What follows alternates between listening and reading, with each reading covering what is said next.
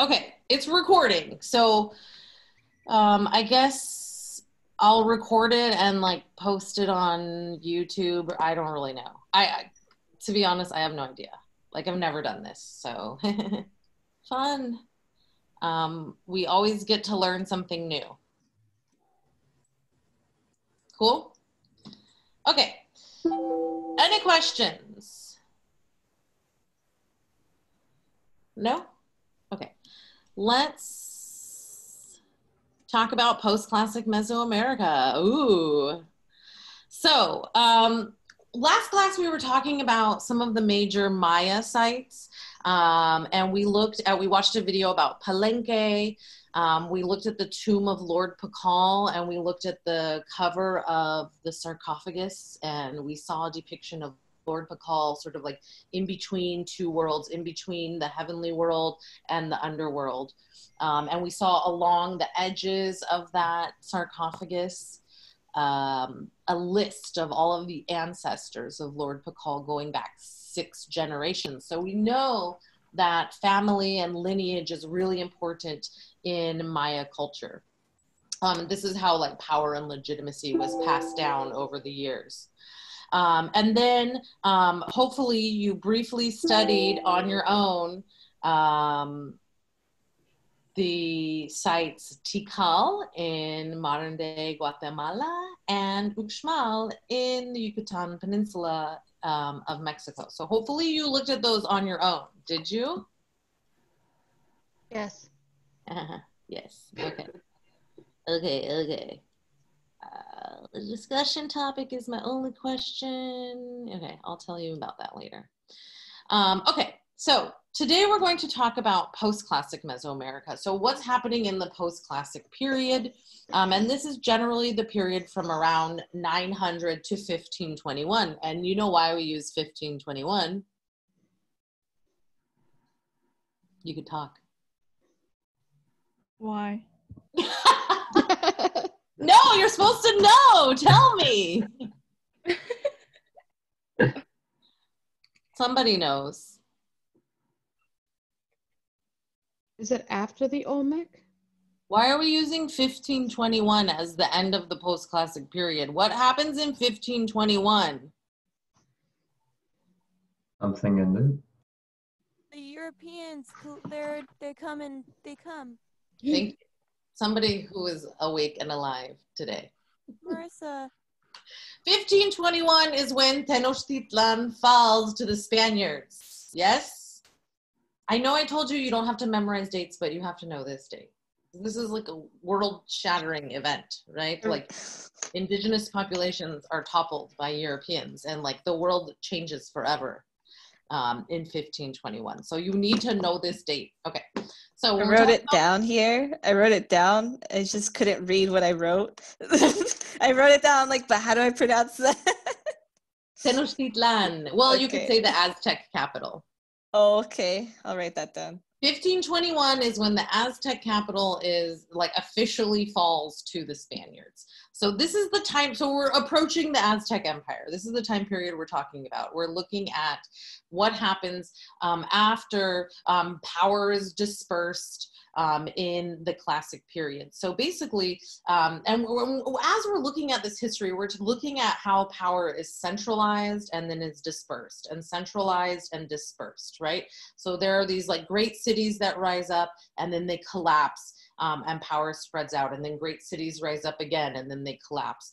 Um, so we're talking about now another moment of sort of like a collapse of these great cities um, before the rise of another great city tenochtitlan. So in the post-classic period um, people are living in smaller groups um, areas of Mesoamerica are ruled by, uh, I would think of them as like lords as opposed to kings. So it's not one unified kingdom. Um, instead, we have like small groups of individuals um, who are led by a local leader um, who's leading the local people. Um, and we have kind of the rise of palace culture. So um, people are living in these, um, the royalty are living in these palaces. The people are living around um, in that area.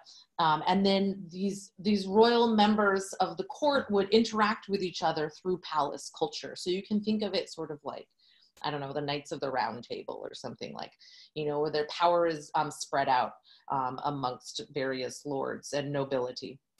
And as they're visiting each other at these courts, they have big feasts, they have dinner parties, um, and at these parties, uh, there will be sort of ways that power is reinforced. And a lot of this happens through um, what we might call storytelling or the oral tradition. So this becomes really important in the post-classic period, the oral tradition. Um, so there would be somebody at the court who would tell a story um, and they would hold up these codices, which are ancient books, right? This codex is sort of a fancy word for an ancient book. Um, and they would hold up this codex um, and show the images, and an orator, somebody who's speaking, um, would tell a story. And it might be the story of the power of one ruler, the places that he's conquered, etc. Um, or it might be a story from mythology. Um, it might be some local history. So they're um, transmitting information to each other through these oral histories. Um, and this is something that like Western Europe didn't really kind of understand. Um, a lot of like Western Europeans arrived and thought, well, they don't have sort of writing how we think of writing. Um, and you know somehow that means that they are not recording their histories which is actually the opposite of true. We know that the indigenous people um, had a writing system and we've talked about this before in class. The writing system is a glyphic writing system. It's a visual writing system. So um, you'll see images like this um, and these glyphs and symbols stand in for words um, so it's not that there is no literature, um, it's that the languages just looks a little, a little bit different from European languages. Uh, okay, so I brought a couple books to show you today. Um, and like, um, I have some other books that I wanna show you, but um, they're in my office at work, so I have to sneak onto campus to try to go get them, or maybe try to convince a security guard to um, let me go into my office and get some books. Um, so I will do that at some point over the next week, but I want to show you some books in case you're interested in this topic uh, and you want to research this topic for your final project. I do have books that I am willing to lend out to you if you need them. I can like put them on my doorstep and you can pick them up from six feet away if you want. So let me show you the books. Um, the first book I want to show you um, is uh, a store. It's a, a, book that's written about the Codex Nuttall. So we'll look at the Codex Nuttall um, today in class. Um, it's a text written about that codex. Um, the other book, and it's called Lord Eight Wind of Suchixtlan and the Heroes of Ancient Oaxaca. So it's specifically about rulers and powerful warriors in the state specifically of Oaxaca. Um, so this is from like the area of Mixtec studies. Um, the next book I want to show you is Writing Without Words, Alternative Literacies in Mesoamerica and the Andes. Um, and this book talks about writing uh, in pre-Columbian Mesoamerica. And it looks both at Mesoamerica, Mexico, and the Andean region, so like where the Inca people live. So this could be an area that you study. Um, again, if you wanna do something like this for your final project. Um, and the last book um, that I have to show you uh, is uh, a history book it's called The Mixtecs of Colonial Oaxaca. This is written by one of my um, advisors in grad school at UCLA, uh, and he's a historian, uh, Kevin Terraciano, and he's an expert on colonial Oaxacan history. So this is about colonial history from the 16th to the 18th century. So this is like what happens in Oaxaca after Europeans arrive. Um, and Oaxaca is generally like less studied than other parts of Me Mesoamerica because of course the capital when Europeans arrived was in Mexico City, Tenochtitlan. So Oaxaca was like outside of the capital. And so it's a less studied area. So if you do like this stuff and you wanna learn more about it, um, Oaxacan studies is like a really good area to, to go into because there's lots that needs to be done. Okay, so those books are available. Um, once you start thinking about your group project, um, I'll have like a whole library of books um, that I can offer you um, to support you as you work on your collaborative project. Cool? You. Okay, So, uh, I wish I could turn off that. I don't know how to do that. I'm turning into my mom. Okay. Um, so, uh, let's talk about the post-classic period. So, like I mentioned, we're looking at this time period from 900 to 1521. 1521, of course, is when the Spaniards officially take over and declare that Tenochtitlan belongs to Spain, um, and they rename it New Spain. I do want to point out that in the 16th century, so in the 1500s and well into the 1600s, about until about 1700, there were lots of uh, indigenous rebellions. Um, so yes, the Spaniards took over in 1521, but people rebelled for like over 100 years after that. Um, okay, so the other thing that I want to point out is that as these great cities fall and people disperse, we have these smaller sites rising to power um, and vying with each other for power, or sometimes allying and making alliances. So in the codices, we have lots of stories about battles, but we also have stories about alliances that are built. Um, Hey, that's what I could be doing. Okay. Um, then, as we move forward through the post classic period, um, we will see that the rise of the Mexica people and the rise of the Aztec Empire, right? So, power is dispersed and then reconsolidates under the Aztec Empire. The Aztec Empire is led by one king who manages the, the whole area of the empire. So, it's, it's a different moment. So, we'll talk about that probably next week. Okay, so um, this week, what else are we going to look at? Um, so we'll look at the rise of these great houses. Um, because these great houses rise, we'll see the production of codices or books. Um, we'll also see in the post-classic period the introduction of um, metalsmith, smelting gold, silver, and copper. This is introduced from South America through Central America.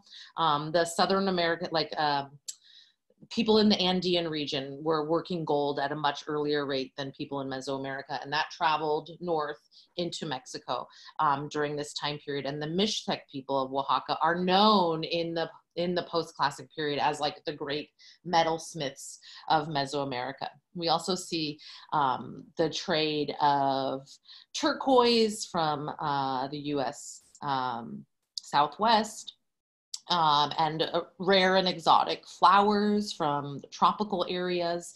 Um, so there's lots of trade going on. Um, it's just sort of happening um, at a less centralized level.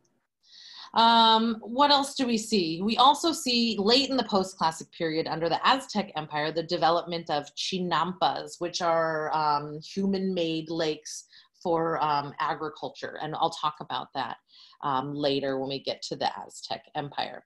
Um, I also mentioned this idea of great houses. So these are the political changes in post-classic period that there are these great houses that rise to power. Um, so again, power is dispersed um, and people are trying to form alliances with each other. So this is really happening in the courts. Um, and we'll look at some of the art associated with courtly life in um, Mesoamerica.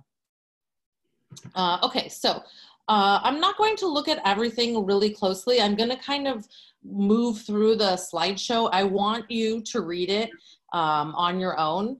Um, one site I want to show you is Cacaxtla because there are some really uh, amazing murals at Cacaxtla. And Cacaxtla is a great site because it kind of explains what life was like in the post-classic period. If you look at this site, um, what you'll see is like a palace you can see right here on the North Plaza Palace, and then you can see a sunken courtyard. Uh, and we kind of saw the same thing um, in the Maya sites, right? Do you remember Palenque? We saw this kind of sunken courtyard in the palace. Um, so these really come to replace um, sort of large ceremonial centers. Um, the pyramid that's associated with Cacaxtla, where people would go to worship, is actually one kilometer away from the archaeological site of Cacaxtla. So um, whereas like when we look at Teotihuacan, Monte Alban, some of these um, other sites, pre-classic sites, earlier sites, we see like pyramids, like the elite people living at the same place as the religious centers. In the post-classic period, we see kind of a separation, almost as if there's like a separation between church and state. um, which is something that you know we see in other parts of the world, um, maybe in these years. Um, okay, so another thing I want to point out is Cacaxtla, if you look at the image here um, on the map, is um, kind of out, like outside of Mexico City. So up here we have Teotihuacan and Cacaxtla is down here. And if you keep going um, east, you would get to the Maya region. So Cacaxtla, we see influences of both Teotihuacan art style and Maya art style. Um, and specifically in the murals. Uh, so I want to show you um, the murals. Okay, so this is the site of Cacaxtla. You can see that it's like out in the countryside in Mexico. And in fact, when I went there, um, I got lost like a million times on the way there because it's kind of like out in the middle of nowhere.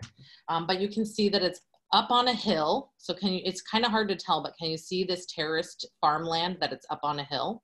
And then you can see this thing covering it, this roof, that, that's built in the modern period um, to protect the, the site from sunlight. Yeah?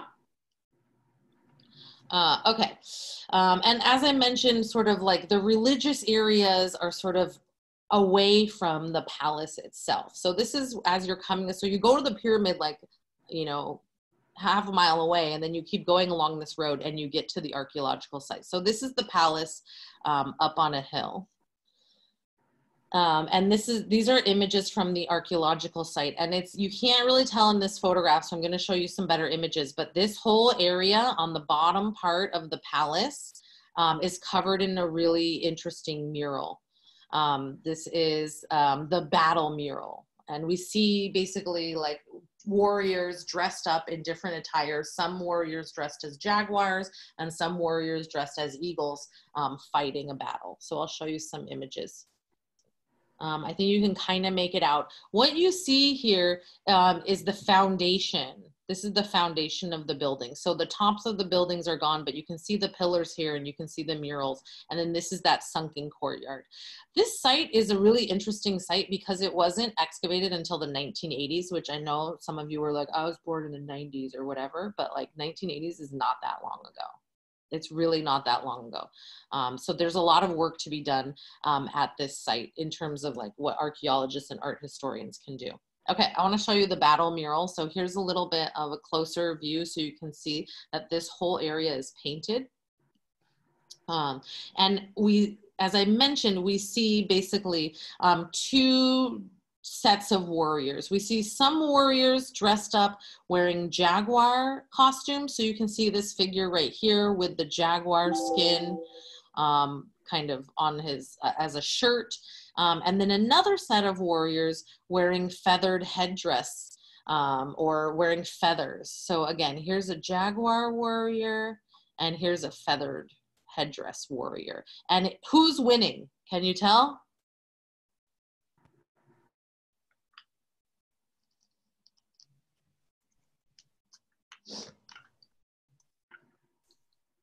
The The one standing. Yeah. Yeah, it looks like the Jaguar Warriors are winning, right? So you can see um, the figures wearing the Jaguar costumes appear to be dominating um, the Eagle Warriors. The Eagle Warriors um, look like they're down on the ground. Um, they are, in some cases, stripped of their clothing um, and unarmed. You can see this figure right here. So here's the face. Can you see that? There's the face. Here's the torso. Here's an arm. And can you see this right here? Can you see where my cursor is moving? Yes. Yes, okay. So right here you see um, a wound and you, can you see blood dripping out of it? Yeah. So this guy is actually dripping blood from all over his body. There's another figure over here dripping with blood. Um, and you can see that they're being dominated um, by these jaguar warriors. So it appears that this depicts, you know, two warring factions, um, two, you know, armies who are fighting. Um, and in this case, the jaguar warriors have won. Uh, a lot of archaeologists look at the battle mural from Cacaxtla um, and say that we can really see the influence of Maya murals. So I know we didn't talk much about them, um, but if you study Maya murals, you'll notice um, this blue color. This is a recreation. You'll notice this blue color that's really prominent in the background of Maya murals, and you see that same kind of Maya blue used also at Cacaxtla.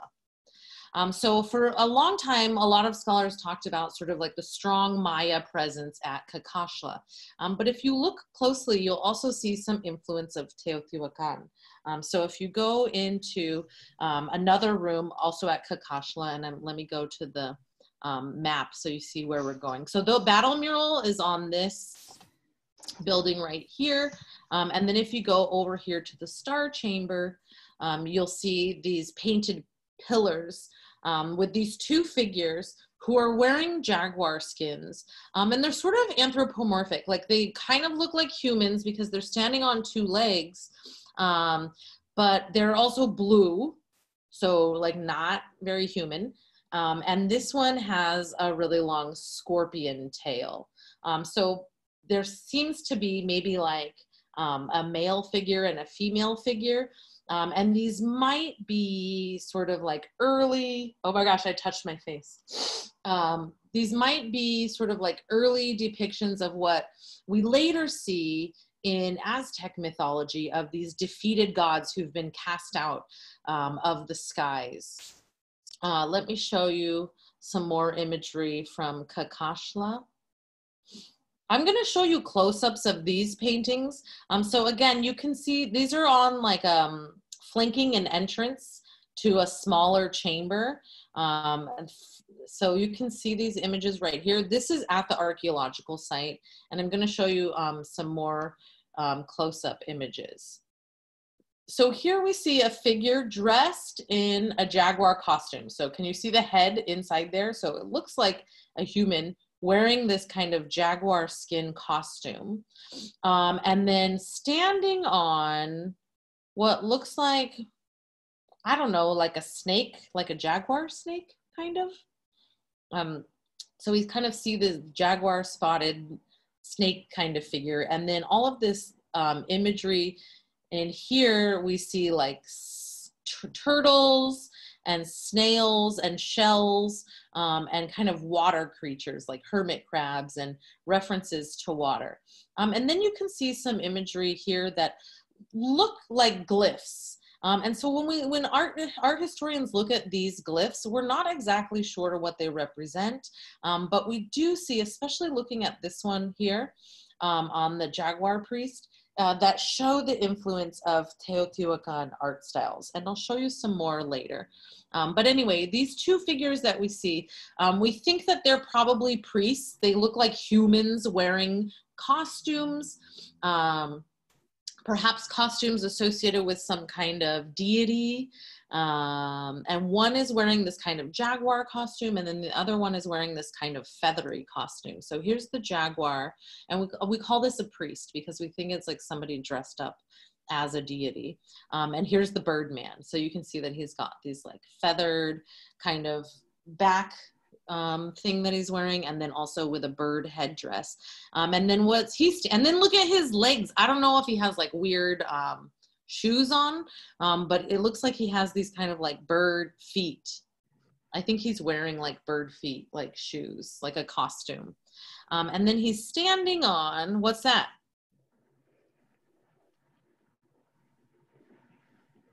Uh, Alligator. It kind of looks like an alligator or a bird like a phoenix or something? A, a deity that we have seen at Teotihuacan. Anybody? Uh, um, the one that was in the statue. Yeah. My boy Quetzal. Okay, somebody, somebody responded. Yes. The feathered serpent. And in fact, speaking of Quetzal, look at this. Doesn't that look like a quetzal bird? It's got that like little body and then the really long tail. Can you see that? So that actually looks like the little quetzal. Um, and then this long kind of snake body i- is covered with feathers. So we think this is maybe some kind of depiction of Quetzalcoatl. Quetzal, feather, coatl, snake, feathered serpent. Yeah? Okay. Ooh, the long feathered tail. Yeah, on the quetzal right there.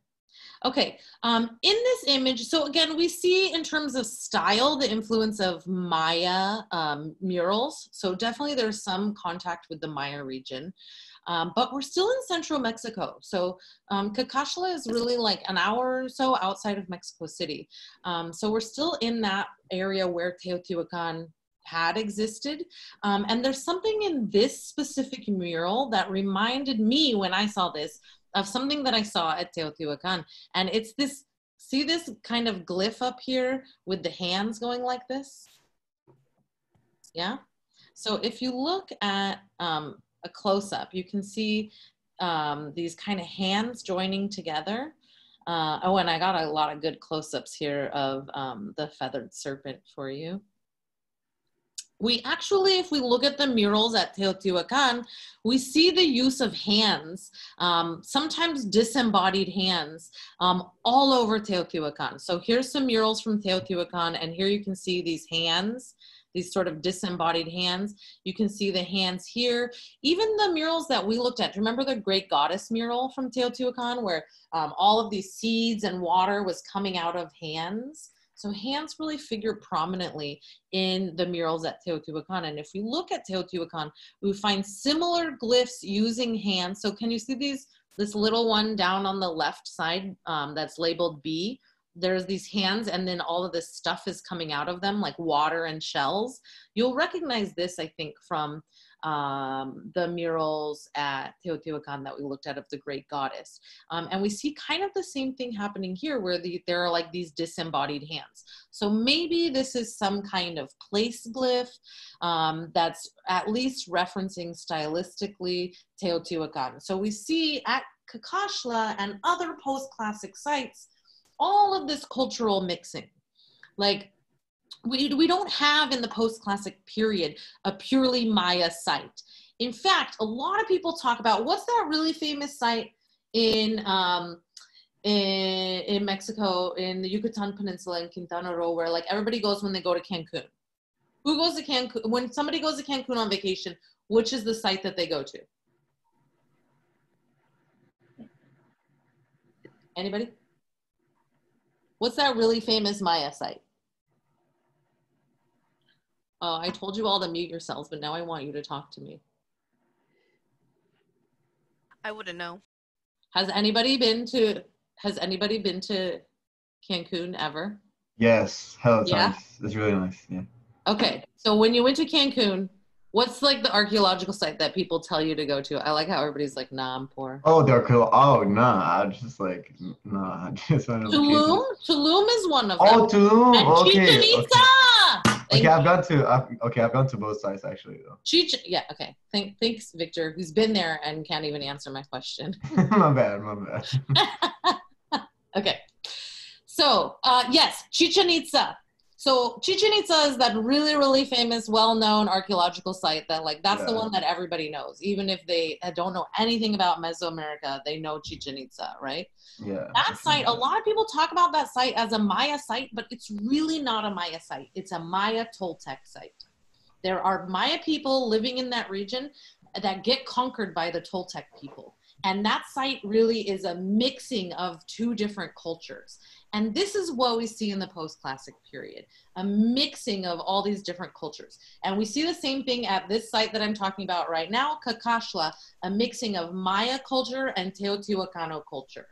Um, so in the art, in the way people live, we're, we're going to see a lot of cultural mixing. So we don't have any like pure kind of sites in the post-classic period. Instead, like every place has some kind of relationship to another place. I mean, I think this is what makes the post-classic period kind of interesting.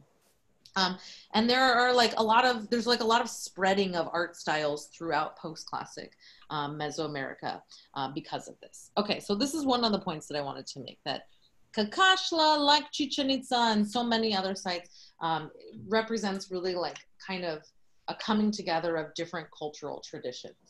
By the way, um, quick question. In Mm. Chichen Itza and like a lot of places, are like in Tulum and I think in Teotihuacan as well. If you clap, like in the in the ball games, like um arenas, just just gonna be like a noise of like a what do you call An it? echo. It- yeah, it's not. It's, it is an echo, but it's like oh, what's the name of like this animal? What's it called? Oh, it sounds like an animal. Yeah. It's like a seal or something. I forgot. It's like Yeah, there's like I mean, like there are like all sorts of um there's like a whole study you could do about like sound at Mesoamerican pre-Columbian sites, like how sound was used, how sculptures I mean, we saw sculpture. Remember we went to VPAM and we saw sculptures of whistles? Anybody remember that? At the Vincent Price Art Museum at East LA College, we saw these little sculptures of whistles. Yeah. Yeah, I do you remember remember. that? Yeah. So whistles are used, flutes are used, um, clapping, drums, like music is um, definitely something that activates these ceremonial sites. So we look at them and we just see sort of like crumbling stones, but you have to think of these sites as really being brought to life by other art forms. The visual, sound, music, singing, poetry, people reciting stories, like they really were like alive and vibrant. And music is like definitely and sound is definitely like engineered into the design of um, some of these sites. Okay one more thing i want to show you at Cacaxtla before i talk about the Mixtec codices. I love this room at Cacaxtla. Um, so this is the red temple mural um, and you can see that it's um, built um, it's painted along a staircase. Can you see that? Um, and the staircase leads into like the governor's room. Um, but we see some really interesting imagery. So i'm going to show you this is the original. What you're looking at is the original. So you can see that the bottom half of the mural um, is all that remains. Um, but i want to show you um, a couple more images. Uh, and then I also have a re- reconstruction. What we see here is a figure standing in profile, and it's kind of hard to see, but behind the figure is a really interesting thing. It's kind of like a backpack. So this is all the stuff that like somebody would be a traveling salesman who would be probably Maya because the Maya were known for this traveling around trading objects. So can you identify any of the things in his backpack? Right here. A reed, yeah. Feathers, yes. So can you see these blue things right here? These are feathers. I don't know what else this, this looks maybe like some kind of mask. So he's It looks like a hat. Like a hat or a headdress or a mask. So this figure is carrying objects that would be traded. So this is how these cultures were interacting with each other and sharing ideas and art styles and religious beliefs through trade. Um, so these Maya merchants were known as these travelers that would go throughout Mesoamerica and trade feathers for turquoise and etc. Um, and this is really how culture was like sort of spread during this time. So it's a really interesting depiction of something um, that we don't really see depicted anywhere else um, visually in this way. Um, and it's kind of cool to get to see like the backpack that, that he would carry um, on his travels.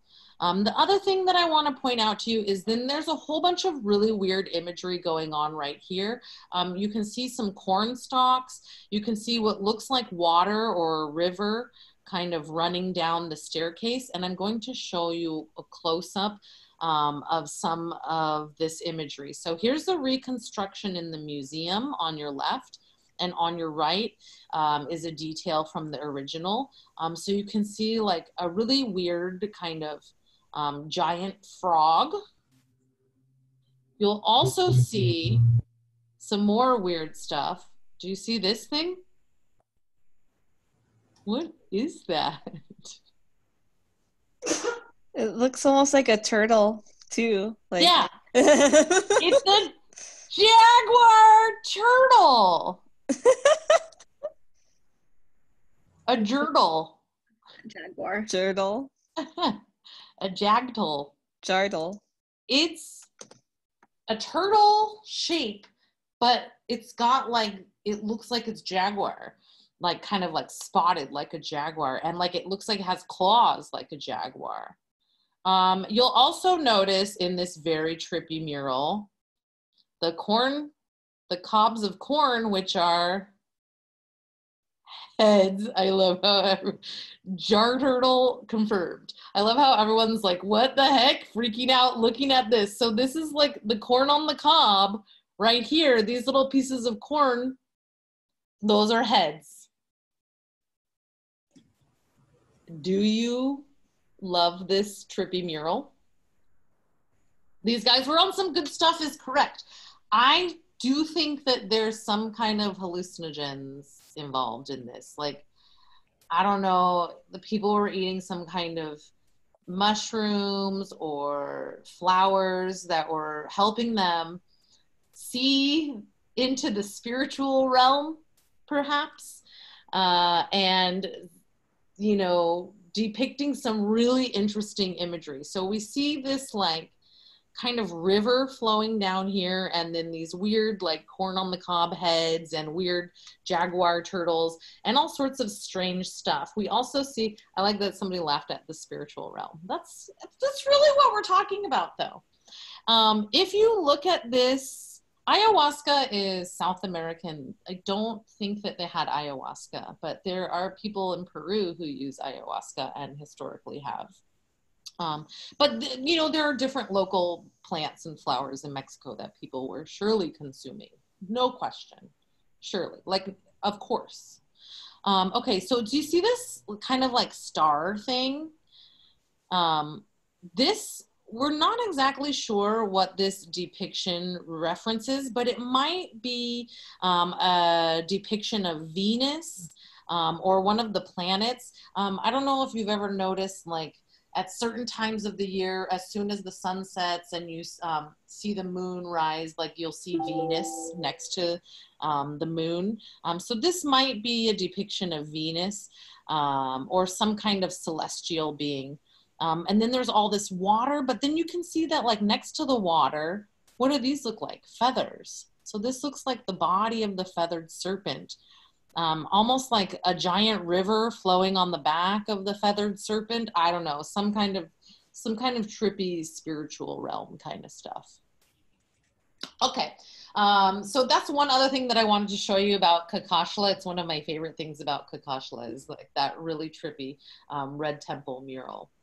Uh, okay, I want to show you just a few other sites in the post-classic period. Um, you probably have heard of the site of Tula, which is up here in the Valley of Mexico. Um, so Cacaxtla um, is kind of like over here, like sort of in between the Maya area and Teotihuacan. Cacaxtla is sort of over here. Um, now we're going back up north to Tula, um, which is a Toltec site. The Toltec people are kind of known throughout Mesoamerica as great warriors. Um, and they even have these giant sculptures of warriors that held up literally these sculptures held up the roof of the temple. So you can see that here that Dude, kind those of are like, big as hell though. Those are big as hell. you can see that like religion and um, the military are sort of intertwined here, right? Um, so let me show you some more images of what this would have originally looked like. Okay, so here's like pulling back out from the site. So you can see this area right here with these pillars, this would have been covered like with a roof. Um, and then you would go up this central staircase.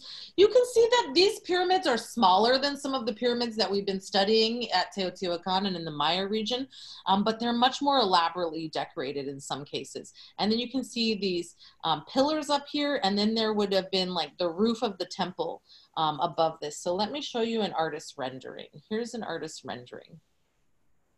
So here's the temple on top of the pyramid, and then these sculptures um, these pillars of these warriors would like hold up the roof of the temple. And you can see in this artist's rendering um, that they would have originally been covered in paint. And I think you can sort of make out like what's going on um, by looking at the painted version. Um, you can see that they've got this kind of disc at the back, which is something that's typical that warriors would wear. You can see he has this like reed thrower thing in one hand. Um, and uh, if you look at the like sculptures themselves, you can see some of the traces of paint. They also have these like really elaborate hair dress, like headdresses um, that would be something that warriors would wear, and these are about 15 to 20 feet tall. So like really, really, really tall sculptures um, that are part of the architecture. So this is another post-classic site um, where the Tula, at Tula, where the Toltec people live.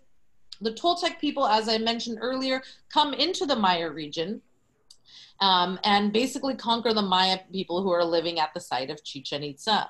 So let me show you some images of Chichen Itza. So this is Tula, this is the Toltec people, and they start moving around and conquering other sites and moving into the Yucatan Peninsula.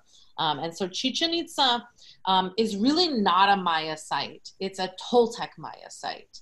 Um, the Toltec culture has a really strong influence on Maya culture here in this part of the Maya world.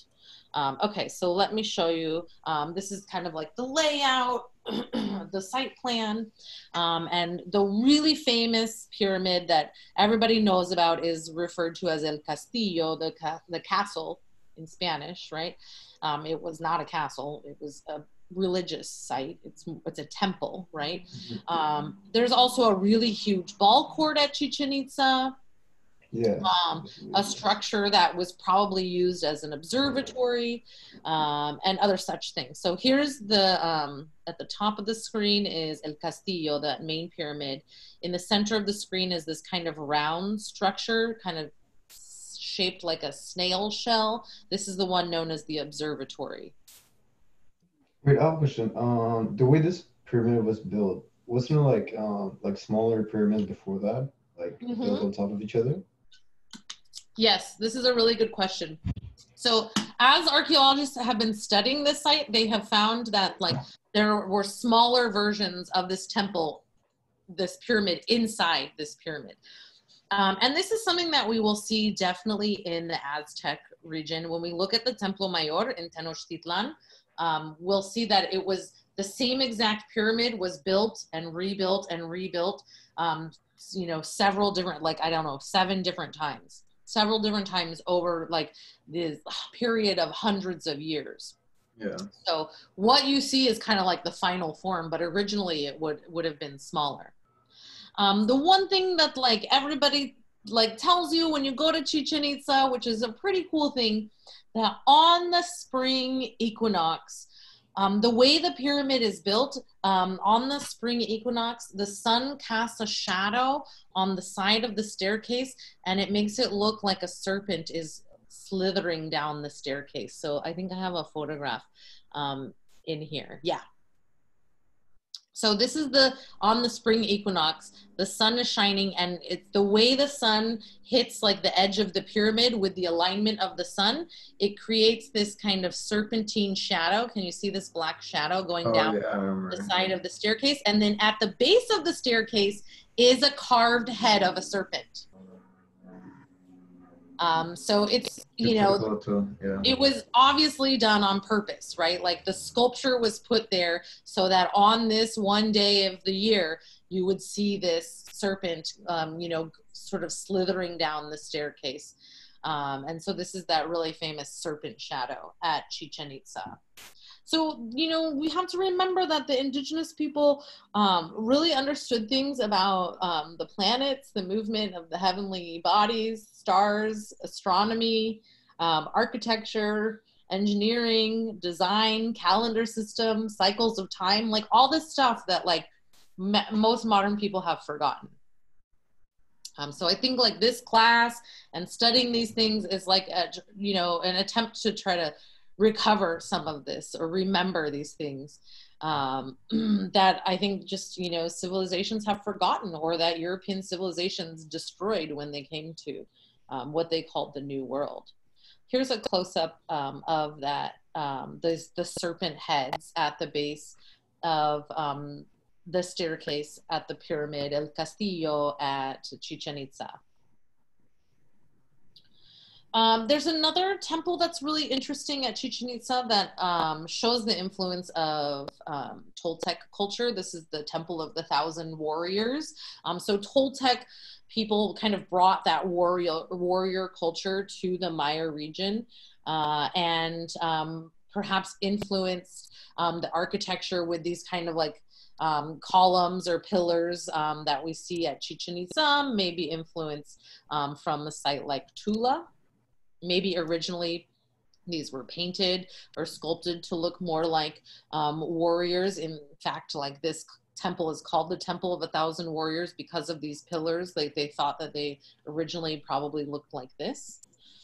Um, and then you'll see at the top, the entrance to the temple, you'll see the same kind of structure that we saw at Tula. Um, and we'll see two snake heads. Um, there is a figure in the Maya region, Kukulkan, who is the equivalent or, you know, sort of um, similar figure to Quetzalcoatl or the feathered serpent. Yeah. Um, and then you'll also see the Chacmool, which is this um, figure right here who's kind of lying down um, and holding a little like tray. Didn't Um, feel like the heads of like the people like who would be sacrificed like right there. Yeah, so on the little tray thing, there would be like sacrificial offerings. Yeah. So sometimes the sacrificial offerings would be like a bird or a rabbit or like something like that that you would kill on this stone and then burn incense. Um, it is true that sometimes there would be human sacrifice, but probably more rare than um, we think.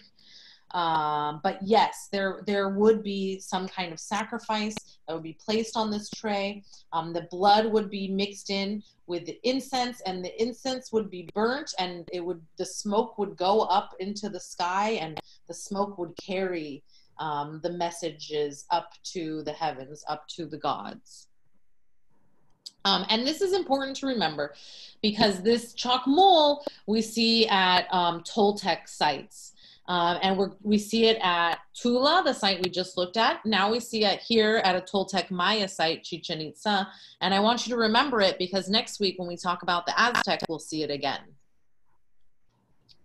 Here are just a few um, more images from Chichen Itza. So you can see this kind of snake with feathers, um, you know, akin to Quetzalcoatl, feathered serpent, or um, as this figure is known in the Maya region, Kukulkan. It's basically the same deity. It's kind of like Tlaloc and Chak, right? The rain gods.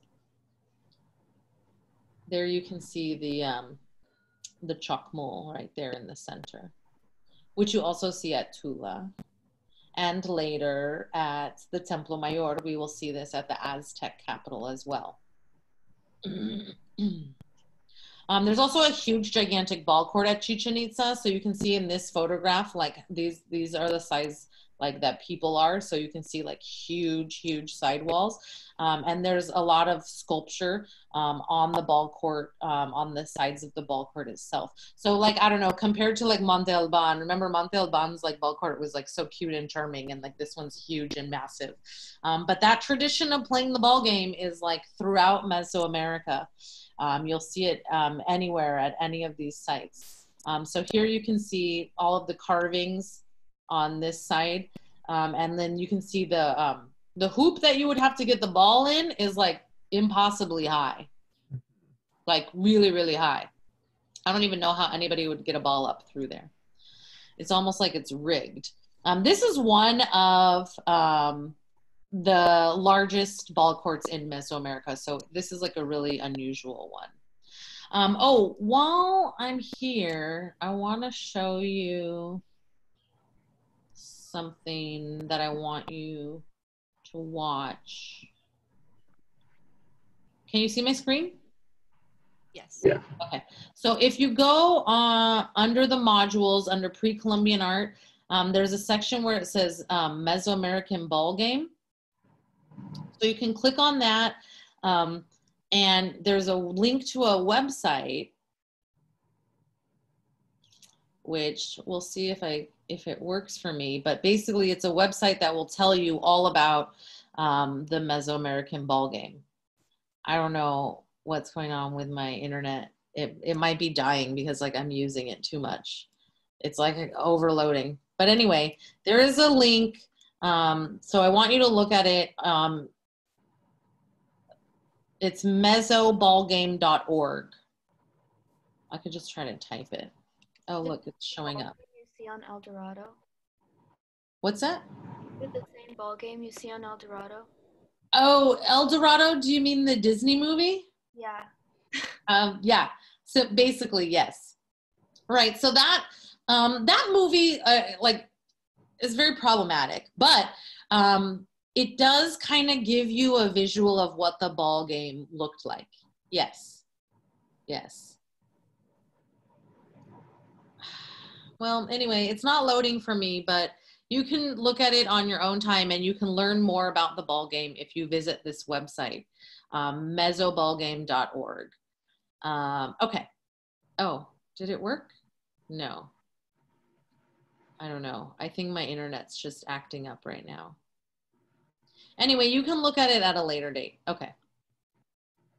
Let's go back to um, Chichen Itza. Okay, I want to show you some more images of Chichen Itza. Here's the observatory um, at Chichen Itza. Okay, the last thing I want to show you um, is um, are some images from Cholula. This is another site. Yes, Cholula, like the hot nice place. Yeah. Yes, I know, like the hot. Oh man, I managed to like yap this whole hour, haven't I? Okay. Um, Cholula is a really interesting place.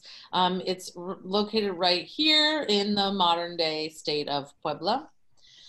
Um, and when you go to Cholula, in fact, the first time I went to Cholula, Oh, I'm sorry. I know. I was like, you know, um, that's a interesting hill. And I was like, it's almost like it's not a hill. And as I looked closer um, and walked around to the other side of it, I realized that this entire thing that looks like a hill that's all overgrown and has a Catholic church on top of it is actually an archaeological site, a pyramid. This whole thing is a pyramid. So all of this stuff with trees growing out of it, this is all human made pyramid and you can see the foundations of it down below. So this part has been excavated. The rest of this is not excavated, but it is a human made pyramid. Um, the largest pyramid um, in this part of Mesoamerica at this time, at the time that it's built. And you will see that what the Spaniards did when they arrived is they knocked down the indigenous temple and built a Catholic church on top of the pyramid.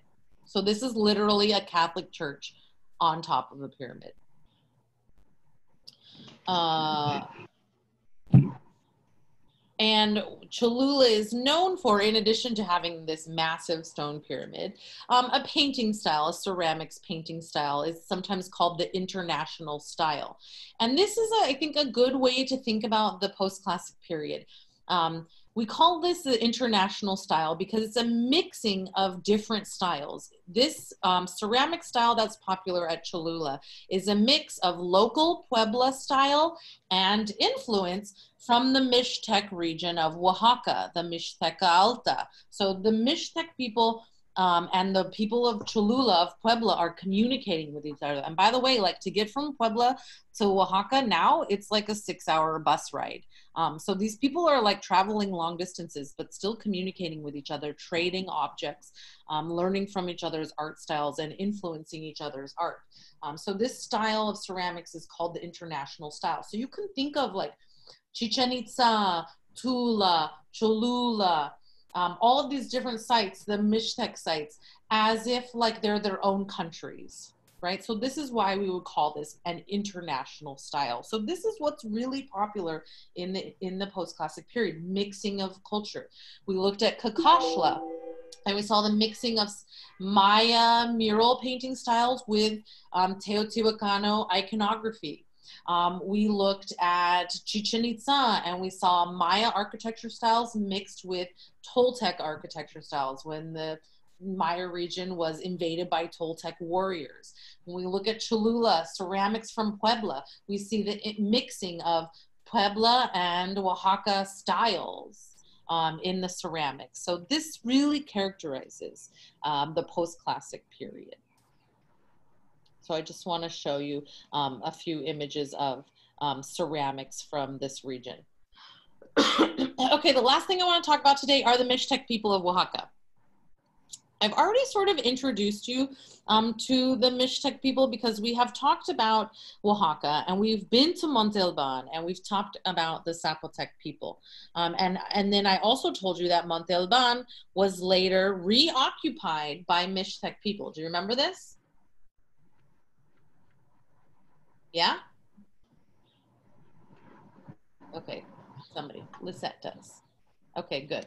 So the Mixtec people um, reuse Monte Alban and they do some other things. They build their own sites um, and they're really well known throughout Mesoamerica um, as um, great um, stone workers, metalsmiths, um, and stone workers. So they're known for working with jade and turquoise.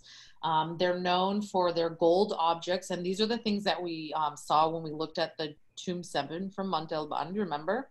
The skull covered in turquoise and all that gold jewelry. So this is one thing that they're known for. They're also really well regarded for their um, books, the codices.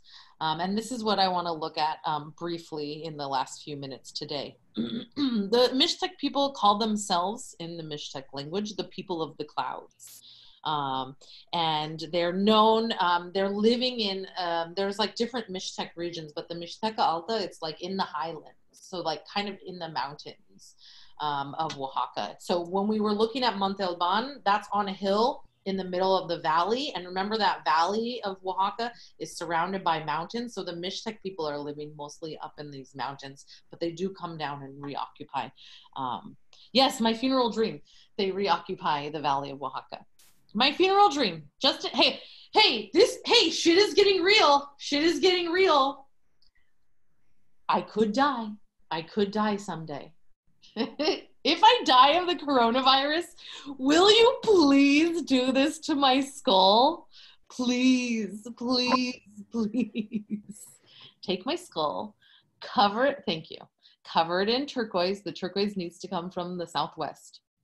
Um, yeah, and you can put some shell around my teeth. Yeah, you can give me some like, yeah, break the quarantine to go to New Mexico and get my turquoise. I mean, if I die, you know, you you got to do some wild shit for me. Put some shell around my mouth, um, shell in my eyes, and obsidian to give me pupils to reanimate my skull, so I can haunt you for the rest of all time. Actually, if you don't do it, I will haunt you. Fuck it, let's go.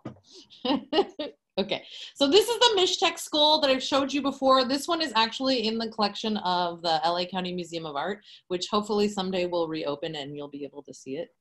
Um, I think I showed you this one too. This is in um, Santo Domingo in Oaxaca City. Uh, and of course, all of these really amazing gold objects from Tomb 7 um, that I showed you before when we looked at Monte Alban. Um, and there's another Mixtec site that's really interesting that I want you to um, know about called Mitla, um, which this is like we've come full circle. So we were looking at Cacaxtla, right? Cacaxtla was not really a religious site. Um, instead, it's a palace. Mitla is also a palace in the same way people um, would come here. This is where the nobility would live, and nobility would travel to here to hear the great stories, the great epic stories, um, like the imagery from the Codex Nuttall, recited um, at these great banquets at Mitla. One thing that I want you to notice on the architecture of Mitla, so this is the facade, like the entrance to one of the buildings of the palace, and you can see all of these geometric designs on the exterior, on the facade. Um, and we think that these um, designs, look at that. So can you see all these repeating designs, but they're different. Each one is unique.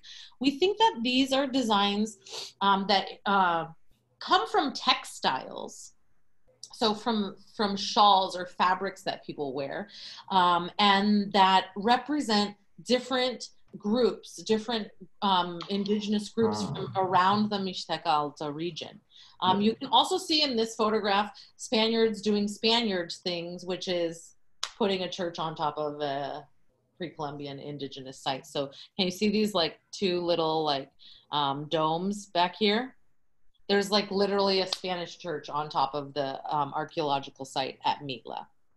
Um, so here you can see this this part right here, this whole bottom part, all the way up to here is um, indigenous construction. So this is the site of Mitla, the palace, and can you see like the um, the different abstract designs right here?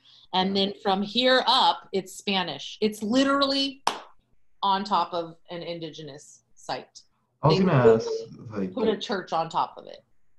It's like Mitla, like I was gonna ask you. So when I went there, there was like big hallways and like big rooms, and it looked like a just like a convention of like multiple like groups. That's why.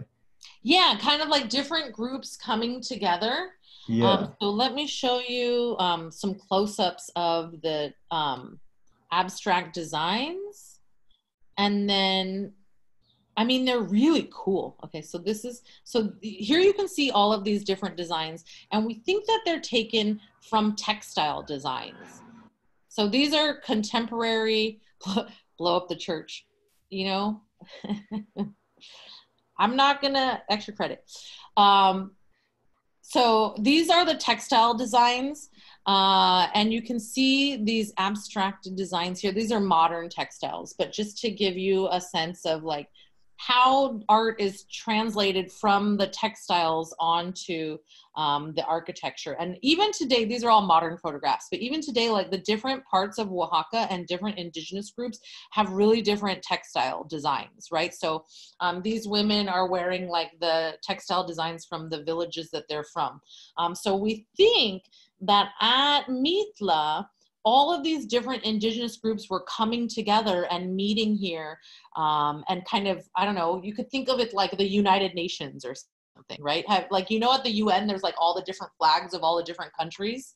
But this is kind of like that. It's like the different um, designs from textiles from all the different indigenous groups coming together at Mitla.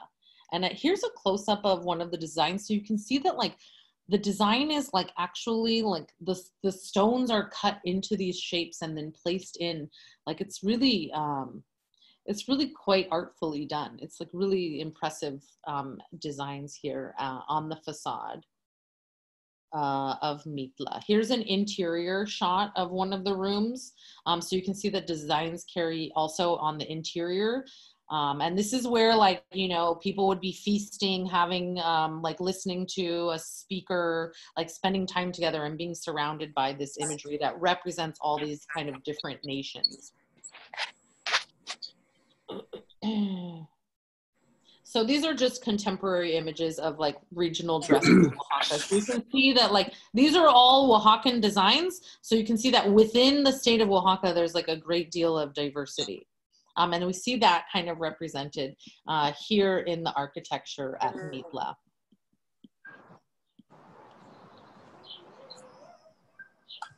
There are also some murals at Mitla, but they're very damaged, so they're not in um, much of a, a, state to look at.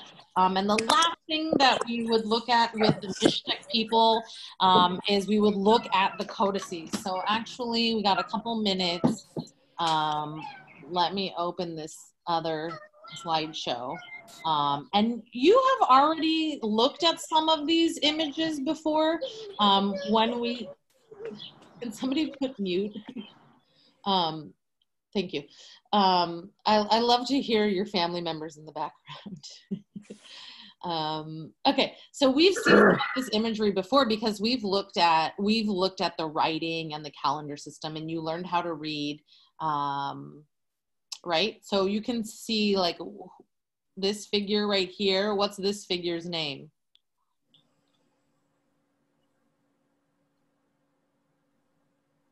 Eleven death. Yeah, death, but remember you have to count the numbers. Okay, so here is Lord Eleven Death, accompanied by one, two, three, four, five, six. Uh, Lord Nine. What is that? Do you think that's serpent or Alec crocodile?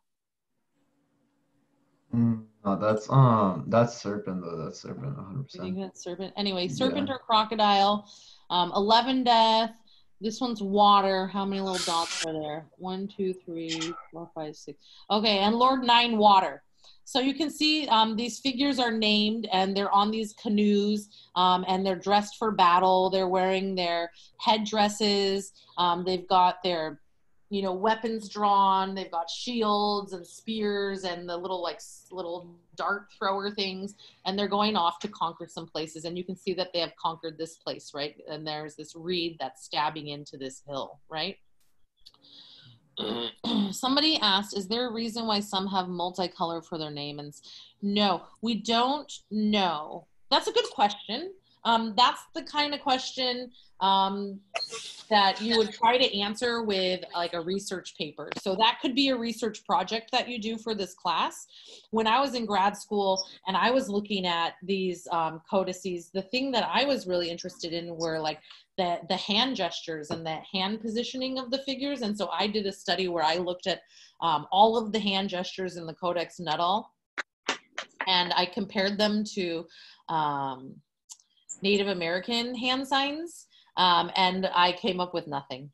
So my conclusion is I still don't know. The hand signs probably mean something, but I haven't been able to figure them out. Um, but so as far as I know, the colors don't mean anything, but I could be wrong. There could be a reason, um, but that would be something that would take further study. Um, so that's something that your group project can be about if you want to study that further. Did we discuss? What? Oh, did we discuss the um the discussion that you were you assigned? I, I'll, I'll tell you at the end, but I did talk about it on Wednesday. Oh, oh, sorry about that. That's okay. I just want to show you um, a few, I'll, I'll, I'll address that in one minute. I just want you to look through this um, PowerPoint. Um, I want you to look at um, these images from the codices. You already know the day signs. Um, you already know the year signs. So you can read like who is depicted um, in these images. These are some place signs that I don't think I introduced you to yet. I did show you um, but now you see plain and town. And Yod So plain is like a field of grass. Um, so I want you to look through this um, and sort of practice kind of reading some of these images. Yeah? So this is, I don't have time to do this. So I want you to do this um, on your own. Look through all of this. Oh, the one thing I want to tell you is that in this image, in the Codex Nuttall, this guy gets stabbed. Can you see him getting stabbed? In a temescal, which is like this kind of sweat lodge kind of place. Um, so can you see this like triangle thing of fire right here? Yeah. You can see it right there. Do you see this? This little triangle thing, and then there's like smoke coming out of it. That's indicating that they're in the Temescal. Um, so this guy gets stabbed in the Temescal, and then Lord Eight tries to avenge like the murderer, and it's really like a telenovela of people stabbing each other in the back. Um, it's and and like murdering each other and like political intrigue and you know um, like long lost cousins coming back to life and everything. So it's a really interesting story. So I want you to look through um, this slideshow. Uh, okay, so let's talk about um, what did you ask me? Somebody just asked me something about the discussion forum. Yeah, that was me. Is this Renaissance to modern? What? No, Mexican art. Oh my gosh, I came out too early. Oh, okay. I'm so sorry about that. Come back at 2.30. Okay, bye. Okay. Um, discussion forum. Anybody else have any questions? That That's okay. Person was in the wrong class. Um, it's like being in the wrong classroom. Uh, so basically, what you're going to see. Let me see if I can share this screen with you. Okay. But basically, what you're going to see is there's going to be um, discussion forums on here, and it's going to say, like, you know, answer this question, um, and it'll be pretty self explanatory. You'll just type in your answer, and that's it. Cool. Um, the last thing I want to talk about is um, the group project. Does anybody have any questions about the collaborative project? It's still going forward. Um, the people who were in class on Wednesday already paired up.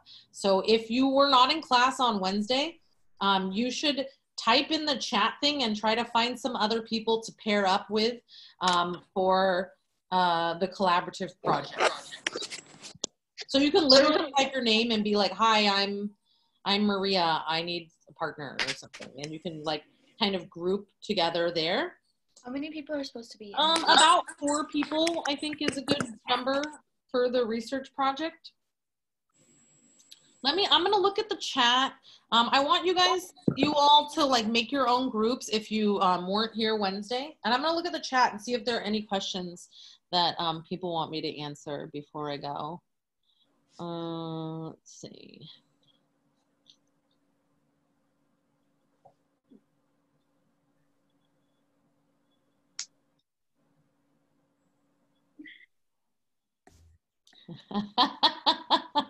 Fellow Kermit.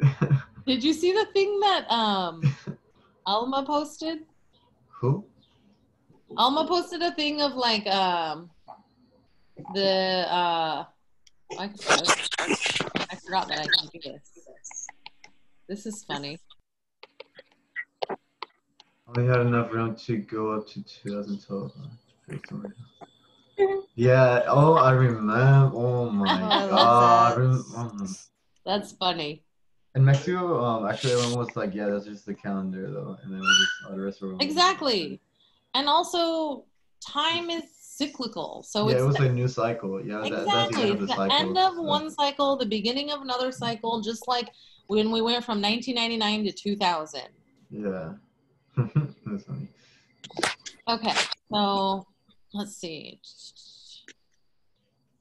Mm, Anybody had any questions? Wait, I have one. Uh huh. Hi. so for a virtual exhibition design and cur- curatorial statement paper assignment, You came on the if you came on the field trip, you don't have to do that.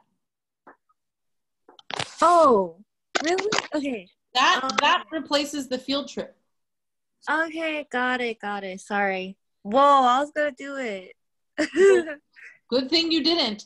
So Wait, what friend- thing we're not supposed to do? Wait again. Sorry. friendly reminder that the museum the museum if you look under assignments Oh yeah, I didn't get to get to you in person, like the paper saw. I actually have to. I think so. so um, museum paper assignment if you went on the field trip you do not have to do this okay. Oh wait, wait, wait, but like if we didn't give you like the paper though. if you did not submit your papers to me you need to submit it here on canvas Did you get? Okay.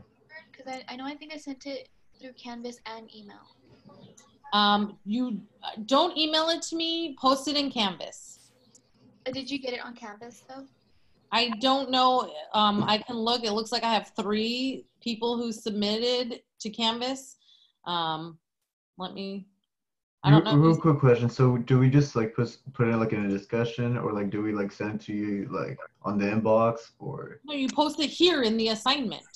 Oh, okay, an assignment. Okay, In just like the the picture of it. Okay. Well, you can type it. You can scan it. Okay. Um, Thank you. Yeah. Does that answer your questions? Yes. Okay. Everybody liked the mural from Cacaxtla. Yes. I heard you like pyramids, so we put a pyramid in your pyramid. you guys are funny. Okay. Uh, so, any questions? I'm trying to see. What held the turquoise onto the skull? Oh, that's a good question. I don't probably some kind of like mortar. So we know that they made mortar for buildings, so they probably used something similar. Um, that was used when they were like um, they would burn wood and then they would put limestone in the fire um, and some remnants from that would make this kind of sticky glue mortar stuff so that's probably what held the turquoise onto the skull somebody asked if they could go to the bathroom yes um, how many people to a group about four people did you group yourselves Looks like you did. Okay. Yes, you can join a group of four. If you want to have five in a group, that's fine, but try not to do um, more than that. Okay, so in in the chat you can group with each other and I want you once you're in a group, I want you to like get the contact information of your group members um, so that you can collaborate via email or text or whatever. Okay? Cool? All right, so this is only going to happen on Mondays. So Monday, I'll do a little lecture like this. I'll answer any questions. Um, and then Wednesday, I'll, I'll have a, a discussion forum where, like, I post a question and then you answer it. Um, and that is going to be for your to replace your grade for exams. Cool. Yep. Questions? Uh, uh, no. Any questions? Otherwise, I'm going to peace out. Alright. I got to go to my next class. Yeah, we're good. Alright, Jesus. Okay, so make sure you connect with your group members. Um, it's not due until later in the semester, um, but you're still going to have to do it. Oh, and by the way, um, it's in the form of a video that's no longer than 10 minutes. Yeah? Yeah. All right. Do I have examples? Good question. Yes, I do have examples um, on my YouTube channel, which I'll post a link to. Um, I have to update the assignment on Canvas because right now it still says like, um, actually, I don't even know what it says. Mm, it, I don't have that much information on here. So I will put the information on here and I will put a link to my YouTube, which you can look at. I'll put this link here, but it's anyway, if you go to, I have different playlists. Where do I, let's see.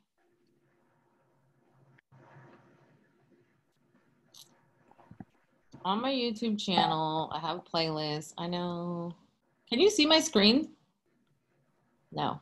Let me share my screen. Sorry, I turned it off. If you go to my YouTube channel, I have playlists, um, and here's the Mexican art history one. So um, these are sample student videos. Um, so the, you can watch these if you want to see examples, okay? Yeah? Cool. Cool. Okay, anything else? Type of the names of the books. You mean these books? Well, what you sh- these specific books? What you should do is once you get a topic, um, you can you can. I'm, I'm going to post this video.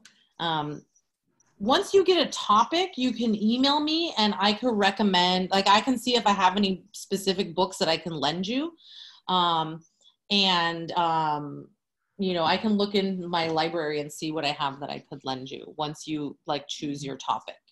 Yeah? Cool? Okay. Um, i will update canvas soon and i will see you next monday here. Yeah?